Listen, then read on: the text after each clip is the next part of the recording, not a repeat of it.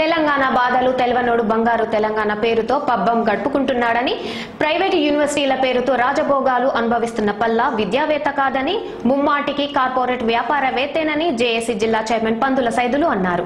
మంగళవారం కనగల్ మండల కేంద్రంలోని అన్ని ప్రభుత్వ ప్రైవేట్ కార్యాలయాల్లో ఎమ్మెల్సీ అభ్యర్థి డాక్టర్ చెరుకు సుధాకర్ గెలుపుకై విస్తృత ప్రచారం నిర్వహించి పట్టభద్రులైన వారందరినీ జేఏసీ నాయకులు ఓటు అభ్యర్థించడం జరిగింది. ఈ సందర్భంగా పందుల సైదులు మాట్లాడుతూ సకల జనులు కోట్లాడి తెలంగాణ తెచ్చుకుంటే గుప్పెడు మంది మాత్రమే ఫలితం అనుభవిస్తున్నారని ఇదంతా తెలంగాణ సమాజం గమనిస్తుందని పాలకులకు బుద్ధి చెప్పే సమయం ఆసన్నమైందని వారన్నారు.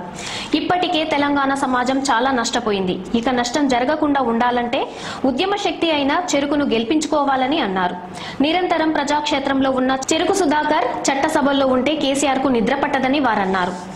తెలంగాణ రాష్ట్రం కోసం కోట్లాడిన యువతను ఆగం పట్టించిన పల్లా రాజేశ్వరరెడ్డి ఉద్యోగాల కల్పనలో ఘోర అబద్దాలతో ప్రచారం చేసుకుంటున్నాడని వారన్నారు. ప్రజా సమస్యలను పక్కదోవ పట్టించడానికి పడరాని పాట్లు పడుతున్నారని మీ బాగోతాలను నిరుద్యోగులు గమనిస్తున్న సంగతి తెరాస మర్చిపోవద్దన్నారు. దశ దిశ లేని పాలనతో ప్రజలు విసుగెత్తిపోతున్నారని వారన్నారు. ఉద్యోగులకు ఇది సరైన సమయమన్నారు.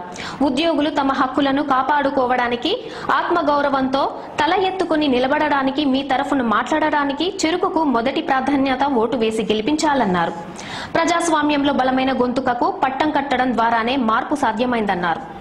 ఉద్యమ సూర్యుడు డాక్టర్ చెరుకు సుధాకర్ గెలుపు తెలంగాణ మార్పుకు నాంది కావాలన్నారు.